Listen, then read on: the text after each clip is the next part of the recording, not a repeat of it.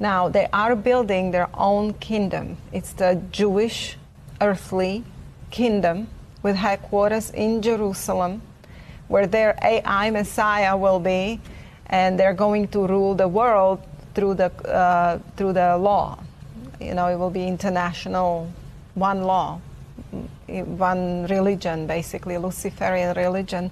So, yes, in a Talmud, this is the Jewish earthly kingdom, and this is why um, the Zionist Christianity have embraced Chiliasm. And this is how Jews and Christians are getting together, and Christians are so deceived thinking that they are working for the good thing, for the Jews, like they're helping the Jews. The Jews are supposed to get this kingdom.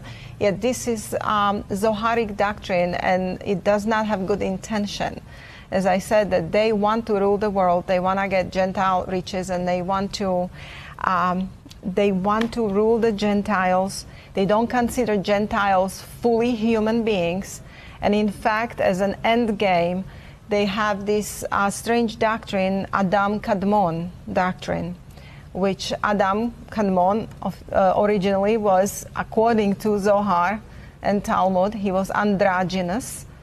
You know, Adam was Adam, like he wasn't male or he was male female in one body, and this is why you see this transgender agenda today, and there are laws, very serious laws, passing in Alberta, Canada. Is Zionism behind the transgender movement? Yes, it gets its origin in Zionism and it gets its origin in the Talmud, Zohar, and Kabbalah. It's a Kabbalistic doctrine of Adam Kadmon, which is. Uh, eventually they have this doctrine called tikkun olam, repairing the world.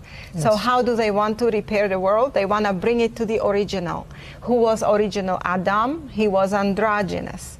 So now they're putting specific things in food and drink, and they're uh, basically their end game is to make um, humans that on Earth that will survive whatever it is they're bringing uh, androgynous